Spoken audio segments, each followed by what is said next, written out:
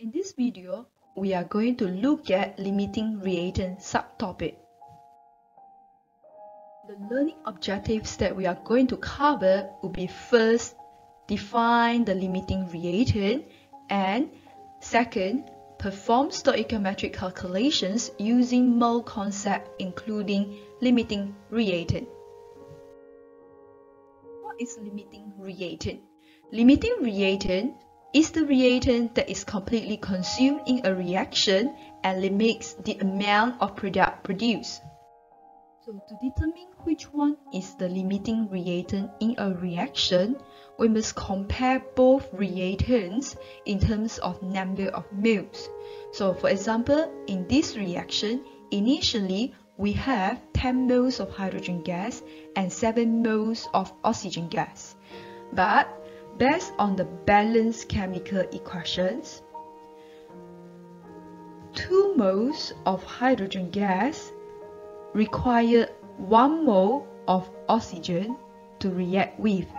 So if we have 10 moles of hydrogen gas, we actually need 5 moles of oxygen gas.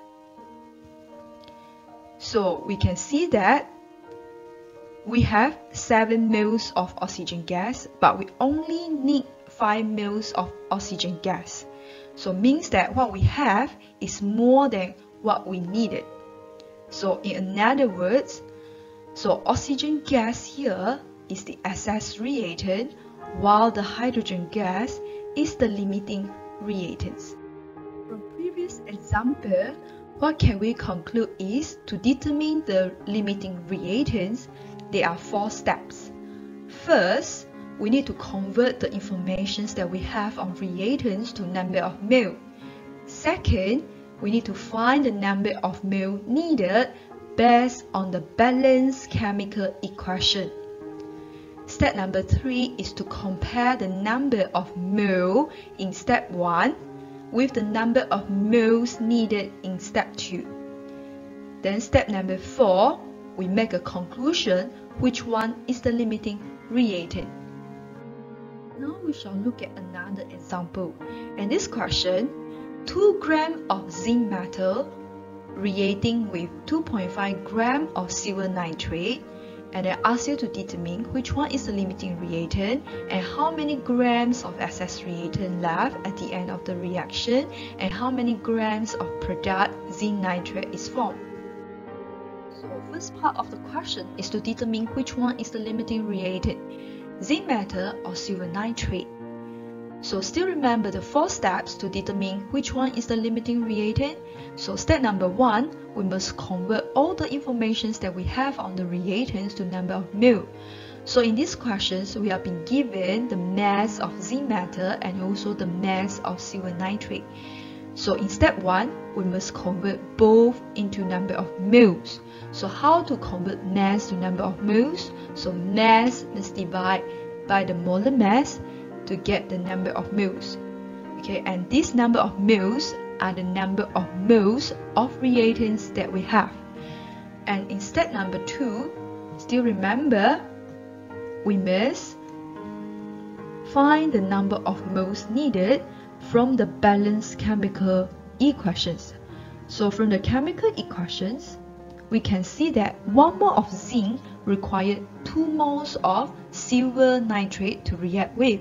So now we have 0.03058 moles of zinc and this means that we require or we need 0.06116 mole of silver nitrate.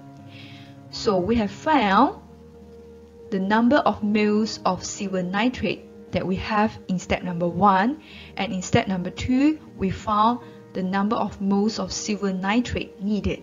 So in step number 3 we just need to compare both number of moles. The number of moles of silver nitrate that we have, which is 0.01471 moles, with the number of moles of silver nitrate needed, which is 0.06116 mole.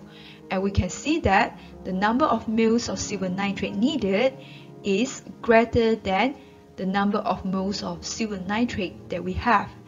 So what we need is more than what we have. So in other words, silver nitrate is the limiting reagent. We can also summarize how to determine limiting reagent in a table. Still remember in step 1, we need to convert all the informations on reagents to number of moles. So we can record the number of moles of reagents as follows. In step 2, we need to use the balanced chemical equation to determine the number of moles needed. So based on the balanced chemical equation, 1 moles of zinc require 2 moles of silver nitrate. So 0.03058 moles of zinc will require 0.06116 moles of silver nitrate. And then we compare the number of moles of silver nitrate that we have with the number of moles of silver nitrate needed. And in these questions, we can see that the number of moles of silver nitrate that we have, 0.01471 moles, is less than the number of moles of silver nitrate needed, 0.06116 mole. Hence, we can conclude that silver nitrate is the limiting reagent. Previously, we found that silver nitrate is the limiting reagent. Limiting reagent is the reagent that is completely consumed in a reaction and limits the amounts of products produced. Besides limiting the amounts of products produced, it also determines how much excess reagent will be reacted with in a reactions. In these questions, we want to determine the mass of excess reagent left at the end of the reaction. To find this, we must use our limiting reagent, silver nitrate, to compare it with our excess reagent, zinc. From the balanced chemical equations, we know that 2 moles of silver nitrate require 1 moles of zinc to react with. Now, we have 0.01471 moles of silver nitrate and actually only need 0.007355 moles of zinc. These informations we can also summarize it in the table. The blue one is the number of moles for both reagents that we have. And silver nitrate is the limiting reagent. So limiting reagent will completely consumed in a reactions. So 0.01471 moles of silver nitrate will completely be consumed in a reaction and when 0.01471 moles of silver nitrate is consumed, it actually only need 0.007355 moles of zinc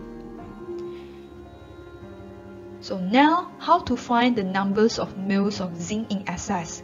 We just need to use the number of moles of zinc that we have minus with the number of moles of zinc needed in a reaction.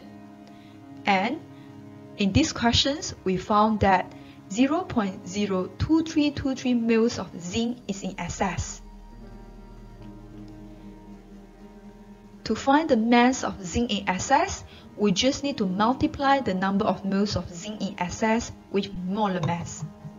Again, limiting reagent is the reagent that is completely being consumed in a reaction and limits the amounts of products produced. In these questions, we want to calculate the mass of zinc nitrate product formed in the reaction. To calculate the mass of product formed, we must use the limiting reagent to compare it with the product because limiting reagent limits the amounts of products formed.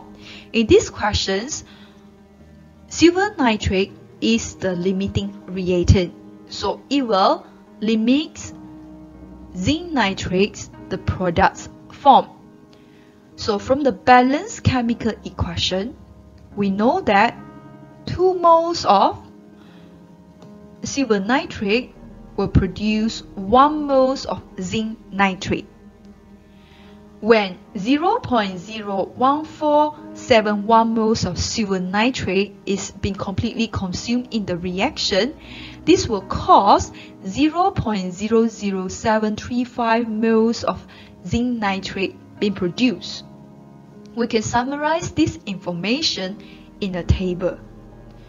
But we only focus on silver nitrate, the limiting reactants, and also our product, zinc nitrate.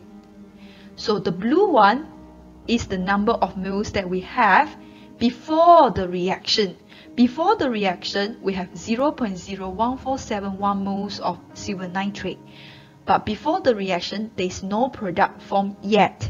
So for zinc nitrate, the number of moles is 0. But during the reaction, our limiting reagent, silver nitrate, will be completely been consumed. So 0.01471 moles of silver nitrate will be consumed. And this will cause 0.007355 moles of zinc nitrate be produced in the reaction. So at the end of the reaction, no more silver nitrate limiting reagent left. And we have our product. And how to find the mass of product? We just need to multiply the number of moles of our zinc nitrate formed with the molar mass. Test your understanding, you may want to pause this video for a while to try on the test yourself one question. You may also want to enhance your understanding by trying the test yourself too. For further understanding, you might also want to refer to the Brown's book, page 150 to 152.